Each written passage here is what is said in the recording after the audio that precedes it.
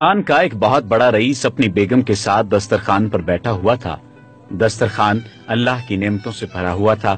اتنے میں ایک فقیر نے یہ صدا لگائی کہ اللہ کے نام پر کچھ کھانے کے لیے دے دو۔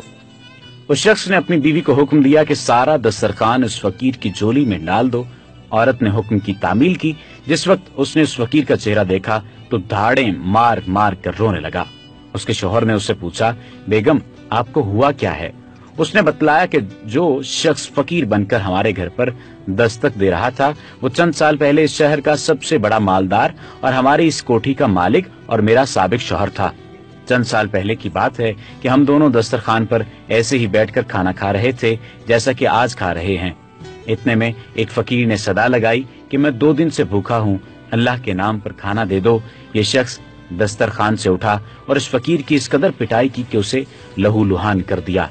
نہ جانے اس فقیر نے کیا بد دعا دی کہ اس کے حالات دیگر گو ہو گئے، کاروبار ٹھپ ہو گیا اور وہ شخص فقیر و کلاش ہو گیا۔ اس نے مجھے بھی طلاق دے دی، اس کے چند سال گزرنے کے بعد میں آپ کی زوجیت میں آ گئی۔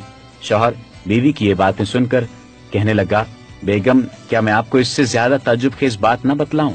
اس نے کہا، ضرور بتائیں۔ کہنے لگا، جس فقیر کی آپ کے سامنے، آپ کے سابق شوہر نے پٹائی کی تھی۔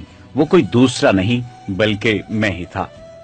کتاب العبر کردش زبانہ کا ایک عجیب نظارہ یہ تھا کہ اللہ تعالیٰ نے اس بدمست مالدار کی ہر چیز، مال، کوٹھی، حتیٰ کہ بیوی بھی چھین کر اس شخص کو دے دی، جو فقیر بن کر اس کے گھر پر آیا تھا اور چند سال بعد پھر اللہ تعالیٰ اس شخص کو فقیر بنا کر اسی کے در پر لے آیا۔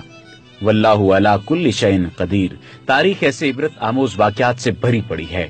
شرط یہ ہے کہ انسان اس سے عبرت پڑے آج کی اس ویڈیو سے یہ بات سمجھ میں آتی ہے کہ غرور کا سر ہمیشہ نیچا ہوا کرتا ہے اور جو شخص شکر ادا نہیں کرتا، اللہ تعالیٰ کو دوست نہیں مانتا، اللہ تعالیٰ کا دوست نہیں رہتا، اللہ تعالیٰ بھی پھر اسے دتکارتا ہے۔